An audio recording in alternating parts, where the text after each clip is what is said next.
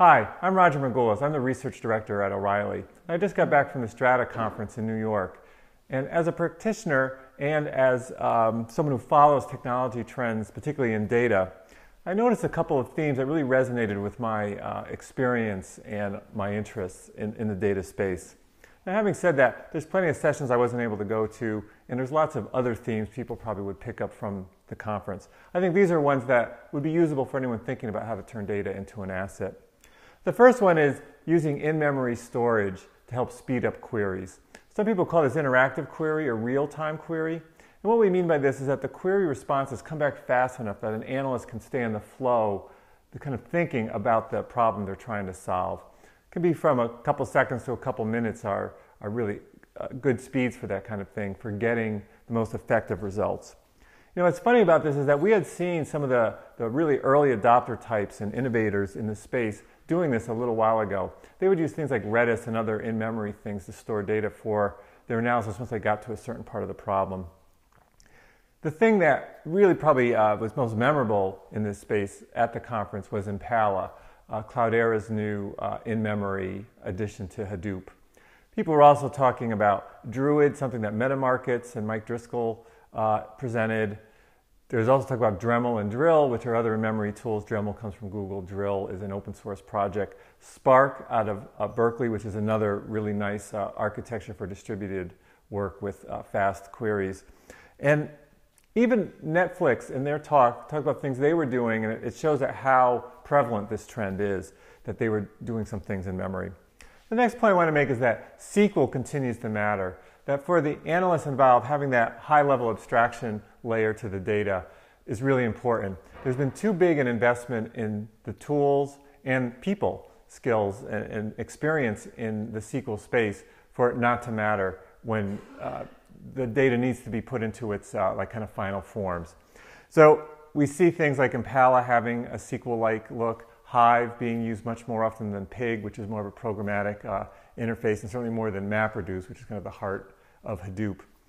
The productivity really matters, and I think we're going to continue to see this kind of dual layering of uh, SQL for the, uh, the kind of final drilling into the data uh, and SQL-like tools like that. Uh, the next thing is 80% of the work of analysis is in prep. When you get data, quite often you need to clean it up, you need to transform it, you need to standardize things into their standard forms. Um, normalize, and so forth to make the data worth analyzing, organizing it in ways that allow you to drill up and down into the data and so forth. It's probably the like best productivity opportunity for companies to improve their ability to, to work on this. And Joe Hellerstein covered this in his Of Rocket Ships and Washing Machines keynote in an interesting fashion. Uh, the next thing is that effective analysis really depends a lot on designing the experiment on asking the right question. At these conferences, there's a lot of talk about tools and techniques because those are things that kind of cross organizational boundaries. But for the uh, data scientists themselves, this is where the focus needs to be. And those other things, the techniques and tools, really should be uh, secondary. And this is where kind of the art of, of data comes in. And this kind of relates to the whole education thing. There's a lot of talk about are there going to be enough data scientists for, um, for the future? And how do we grow them? And I think this is where it's going to be hard because you can learn the tools and techniques, but getting to have the domain expertise to be able to ask questions, knowing which techniques to apply as part of making an experiment work are going to continue to be important. And I think this is why conferences like Strata end up being an important asset for folks to see how other people are, are doing this work. The, looking at the four themes, they're really all around productivity. And I think what we're seeing is that the data space, the data ecosystem is maturing.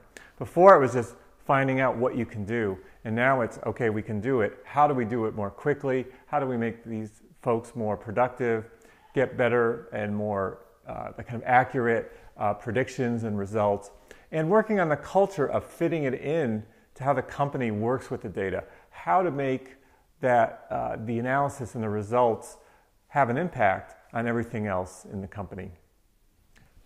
To support these things, I'm going to bring up a couple of talks that I think bring up the, the, subjects I was trying to get to it, and if you, if you watch them, you get a chance to see the videos or look at the slides on them, you'll, you'll get a sense of what I was talking about with those four themes.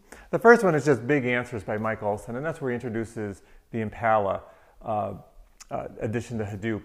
And listening to what he's talking about is how, when analysis gets quick, how much better the uh, productivity for the analyst can be.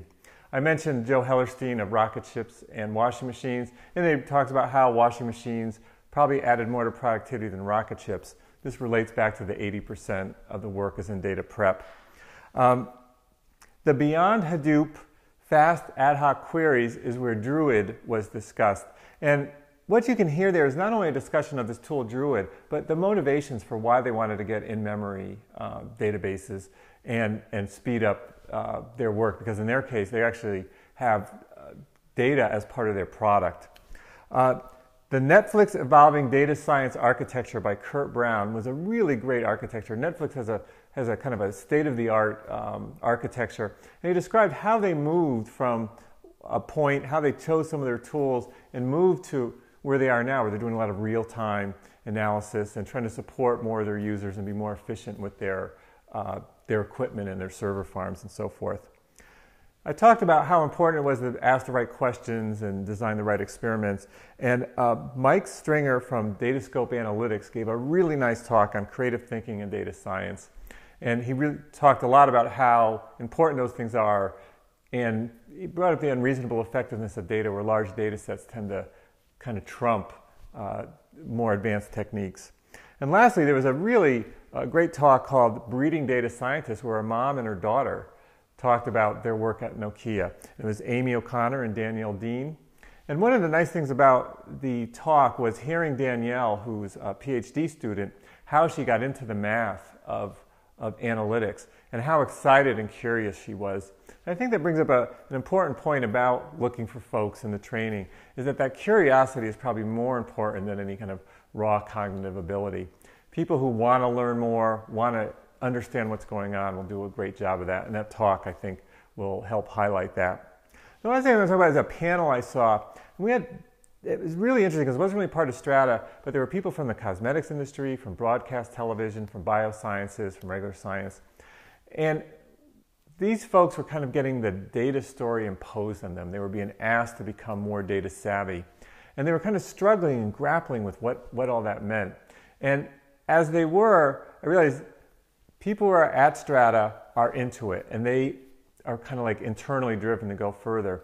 There's a lot of people, though, who are trying to learn what's going on and trying to make it more applicable. And I think that watching that space and, and how those people adapt will be really important to how the tools are adopted and how important data becomes to organizations in general. So that wraps up. It really was a great uh, conference, and we're glad we had it the week before the big storm. Thanks.